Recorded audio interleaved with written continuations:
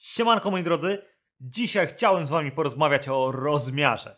No bo nie oszukujmy się, rozmiar ma znaczenie. Zawsze miał. A jak ktoś twierdzi inaczej, no to wiadomo jaki ma rozmiar. Powiedzcie mi, no jaki powinien być? Taki, taki, taki. Mówię oczywiście o wzmacniaczu, żeby nie było zboczuchy bez głupich skojarzeń. I ja wam powiem jaki powinien być wzmacniacz. Wzmacniacz powinien być taki. Nuprime IDA 8. Zapraszam na film.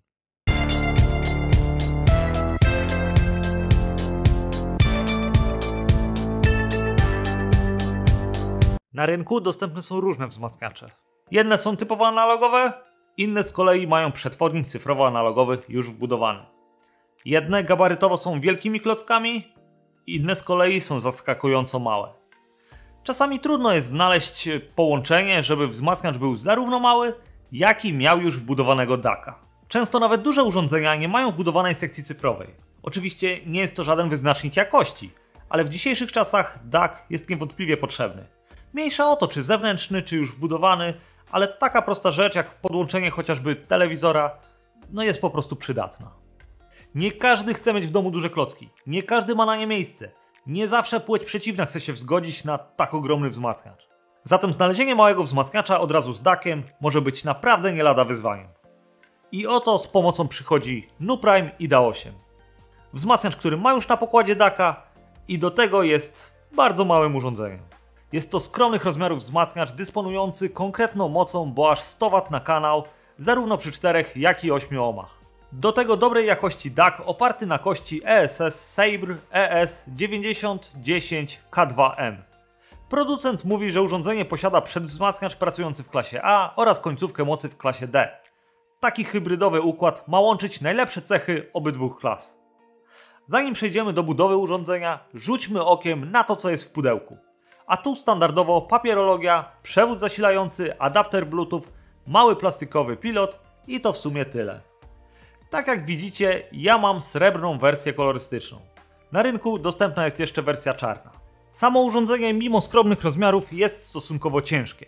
Waży 4,3 kg, wymiary to raptem 24 cm szerokości, 5,5 cm wysokości i 28 cm głębokości. Aluminiowa obudowa, choć tu na górze brzmi zupełnie jak plastikowe pudełeczko. Ale ogólnie co do jakości wykonania nie mam żadnych zastrzeżeń. Wszystko dobrze spasowane, nic nie skrzypi, nic nie trzeszczy. Od spodu gumowe antywibracyjne nóżki. Wszystko zamknięte w takiej małej skrzynce, bez otworów wentylacyjnych. Skutek taki, że grzeje się niemiłosiernie. Patrząc na IDA 8 widzimy minimalizm. Nie mamy tu żadnych bajerów, OLEDowych ekranów czy innych takich. Za wyświetlacz służą nam na froncie piksele, które są podświetlane.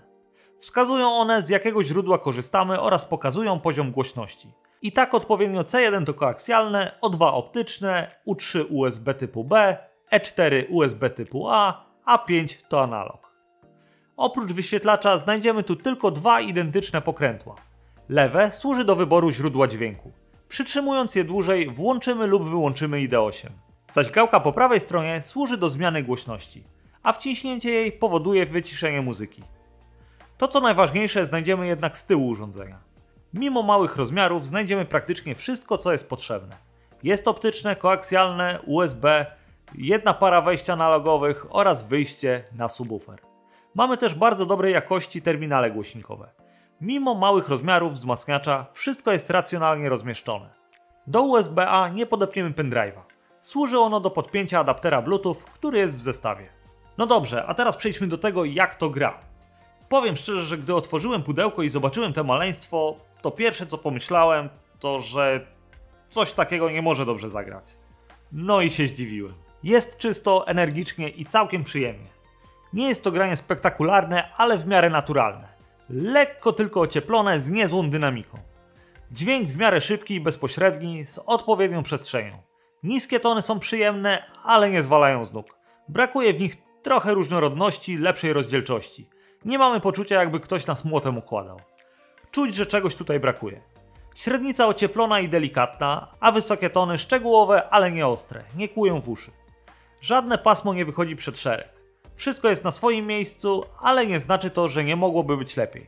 Bo na przykład przy cichym słuchaniu wzmacniacz nie wydobędzie wszystkich szczegółów z nagrania. Ale to dotyczy większości sprzętów z tej półki cenowej. Podsumowując, IDA 8 to niepozorna mała skrzynka z dużą mocą i niezłym dakiem. Wszystko utrzymane w bardzo minimalistycznym stylu, dając brzmienie naturalne i przy tym uniwersalne. Taki wzmacniacz powinien dogadać się z większością dostępnych na rynku kolumn. Mimo, że ogólnie jest to urządzenie bez większych wad, to jak zawsze znajdą się jakieś minusy. Można do nich zaliczyć mocno nagrzewającą się obudowę i zwiększanie czy zmniejszanie głośności działa tak jakoś mało płynnie.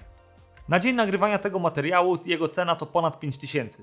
W tym budżecie oczywiście IDA 8 może nie jest wzmakiem pierwszego wyboru, ale jeśli rozmiar dla Was ma znaczenie, to ten wybór okazuje się mocno ograniczony. I wtedy ten mały wzmacniacz o wielkim sercu może być dla Was idealny. Nuprime pokazał, że można zrobić małe urządzenie z dakiem i całkiem nieźle grające. Zatem, czy ten rozmiar naprawdę ma znaczenie? Dajcie znać w komentarzach, co Wy o tym sądzicie. Z mojej strony na dzisiaj będzie to już wszystko. Sprzęt oczywiście możecie zamówić w sklepie rms.pl. Link do niego umieszczę w opisie pod filmem. Dziękuję wam, dziękuję wam bardzo za oglądanie do końca. I do następnego.